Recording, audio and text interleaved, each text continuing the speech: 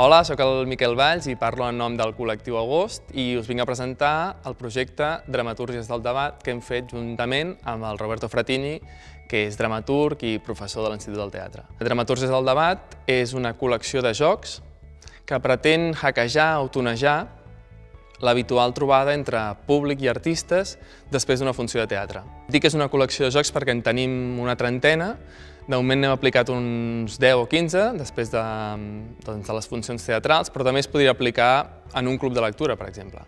Llavors són jocs que mm, pretenen doncs, alterar una mica la forma habitual d'aquest debat postfunció. Tota la col·lecció de jocs, doncs, cada joc té el nom d'una ciutat de la península ibèrica, el València, per exemple, és un espectador voluntàriament assumeix el rol de l'artista, es col·loca a la cadira de l'artista i parla sobre l'espectacle i respon les preguntes del públic que li fan.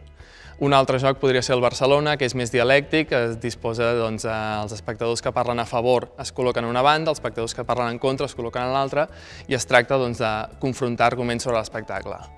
Hi ha jocs una mica més gamberros, per exemple el Logroño és una conversa normal sobre l'espectacle, però abans de qualsevol intervenció ha d'anar precedida eh, de beure un parell de gots de vi.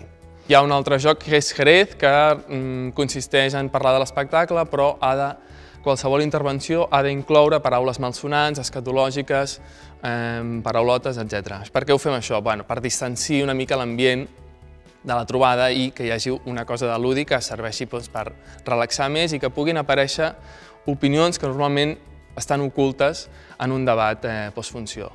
Ens podeu trobar en diferents teatres de Barcelona, normalment estem al Mercat de les Flors, a l'Antic Teatre, també al Lliure, i bé, estarem encantats doncs, de, de que ens vengueu a veure en alguna d'aquestes funcions.